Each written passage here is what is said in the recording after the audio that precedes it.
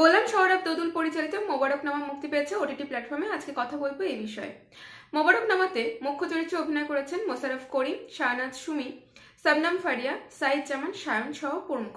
এই ওয়েব সিরিজের মূল বিষয় হচ্ছে একজন ধর্ষণ হওয়া নারীর তার পরিবারের বিরুদ্ধে লড়াই। যেখানে অ্যাডভোকেট হিসেবে চরিত্রে অভিনয় করেছেন মোশারফ করিম এবং শাহনাজ সুমি ভিকটিমের চরিত্রে।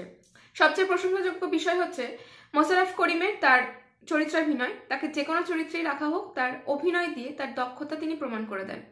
একাংশে শাহনাজ সুমিও তার অভিনয় দক্ষতা অর্থাৎ তার চরিত্রটি খুব সুন্দরভাবে ফুটিয়ে তুলতে পেরেছে।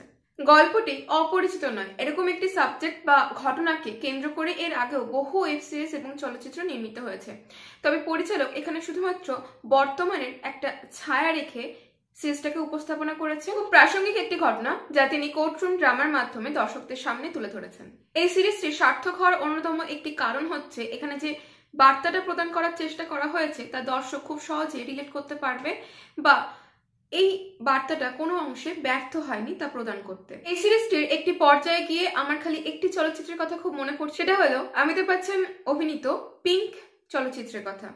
কারণ মোবারক নামার একটি সিনে এমনটাই সংলাপ ব্যবহার করা হয়েছে যা পিঙ্কের সাথে মিলে যায়। সিরিজটিতে এই একটা জিনিসই একটু খামতি চোখে পড়বে, কারণ হচ্ছে এই সিরিজের মূল মেরুদণ্ডই হচ্ছে সংলাপ। এখানে যে সংলাপগুলো ব্যবহৃত হয়েছে পার্টিকুলার ওই ব্যাপারটি ছাড়া, সেগুলো প্রত্যেকটি মানুষের বিবেকবোধকে প্রশ্ন করবে বা সমাজের দিকে প্রশ্ন ছুড়ে দেয়।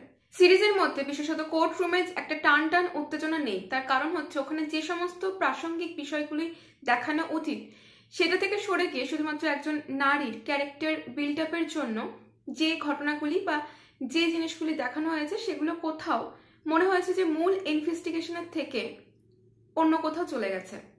যেটা আরেকটু ডিপ অর্থাৎ আরেকটু বৃহৎভাবে দেখানো যেতে পারতো। সিরিজটি নিঃসন্দেহে ভালো, এখানে যে বার্তাটি রয়েছে তার জন্য হলে সিরিজটি অবশ্যই একটি বার দেখতে পারেন। এবং মোশারফ করিমের এটি ওয়ান ম্যান শো ছিল, তার অভিনয় দক্ষতা খুবই প্রশংসনীয়। আজকের ভিডিওটি এই পর্যন্ত ভিডিওটি ভালো লেগে থাকলে অবশ্যই লাইক এবং বন্ধুদের সাথে শেয়ার করতে ভুলবেন না। চ্যানেল নতুন হয়ে থাকলে সাবস্ক্রাইব করে রাখবেন। দেখা হচ্ছে পরবর্তী ভিডিওতে। ভালো থাকুন। অসংখ্য ধন্যবাদ।